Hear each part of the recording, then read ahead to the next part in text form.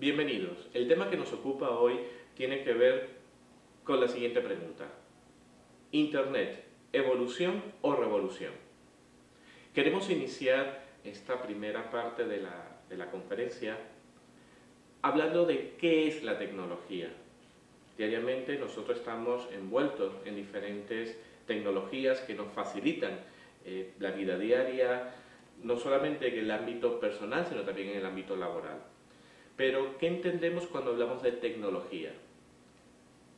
José Manuel de Pablos define tecnología en los siguientes términos. Un proceso o procedimiento, a veces complejo, pero no siempre, para efectuar una variada serie de actividades humanas, con el fin de obtener un resultado materializado en un trabajo, sinónimo de un producto material o fruto de ese esfuerzo o proceso, siempre para ser utilizado por el ser humano en pos de una mejora de su calidad de vida.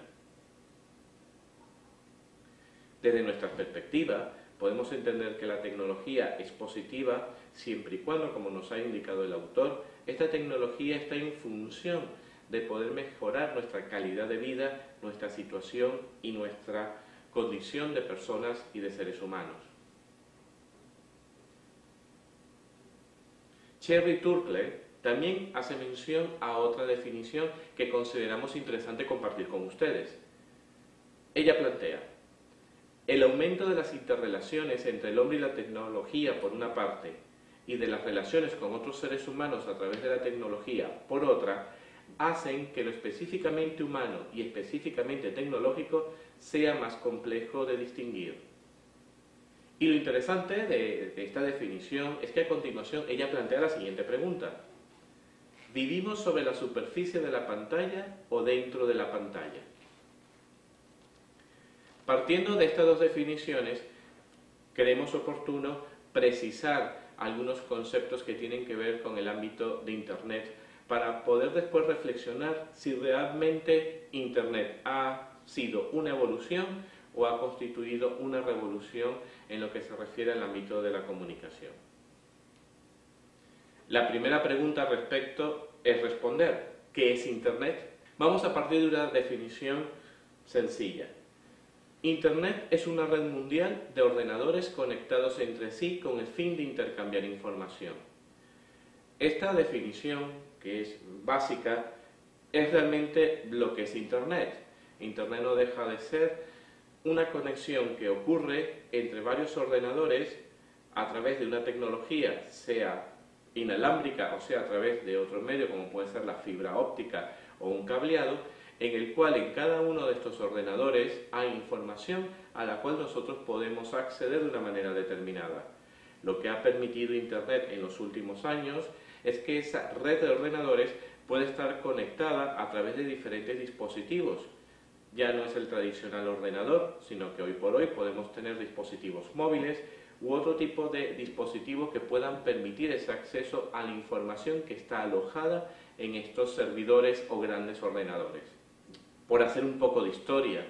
Eh, cuando en 1957 Rusia pone en órbita el primer satélite artificial llamado Sputnik, pues comienza una carrera en, en diferentes ámbitos, pero también en el ámbito de cómo controlar la información que a raíz del proceso que había ocurrido alrededor de la Guerra Fría hacía que los diferentes países tuvieran que tener una información inmediata y poder coordinar los diferentes centros que estaban distribuidos alrededor del mundo.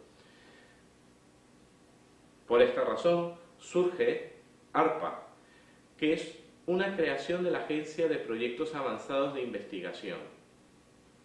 Esta Agencia de Proyectos Avanzados de Investigación, ARPA, tenía un objetivo, poder permitir que desde Estados Unidos se pudiera coordinar y mantener contacto en cualquier conflicto que pudiera ocurrir, contacto con las diferentes bases y centros militares distribuidos en el mundo.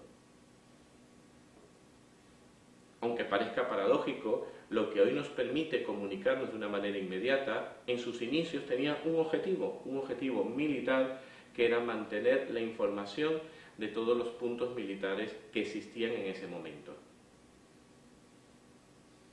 En la imagen que estamos viendo ahora vamos a poder observar los diferentes equipos que configuraban esa primera iniciativa de una red mundial que permitiera interconectar ordenadores con el fin de intercambiar información. También podemos observar quiénes fueron los fundadores de este primer proyecto inicial con el cual surgió Internet. En este proceso hay un momento importante, el momento en el cual el ámbito militar deja paso al ámbito académico.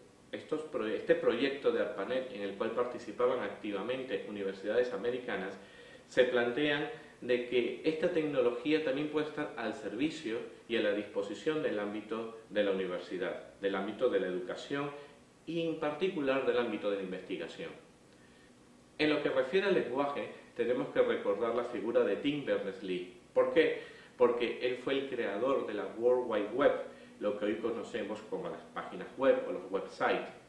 Él desarrolló un código, un lenguaje, que permitía que los ordenadores pudieran interactuar con el usuario de una manera más fácil, más sencilla, pero también ha permitido que cualquier usuario, conociendo este lenguaje, pudiera crear contenidos para la gran red mundial.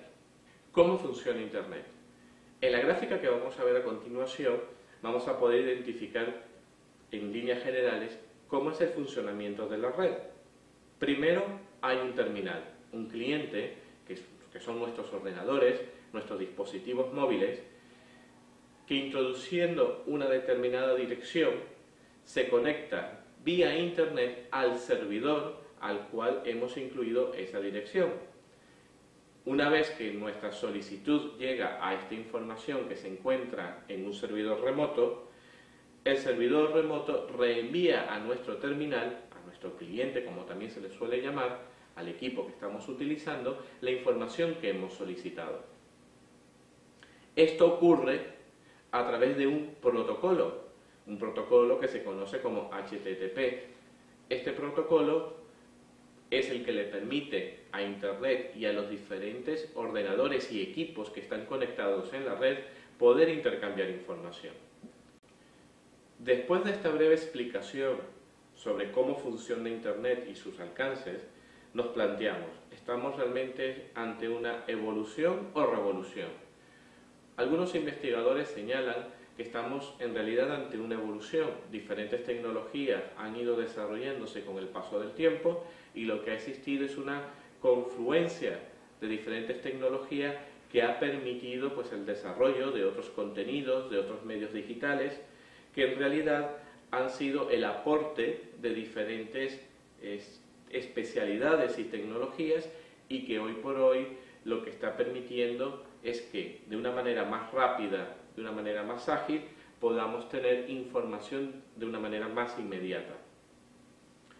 Otro sector plantea que realmente se trata de una revolución, en el sentido de que si bien es cierto que la evolución ha permitido que las nuevas tecnologías se vayan desarrollando, también es una realidad que conjuntamente con esta evolución de la tecnología también ha ocurrido una revolución en el sentido de que se han, ocurrido cambios en los procesos de comunicación, en los procesos de interacción entre las sociedades.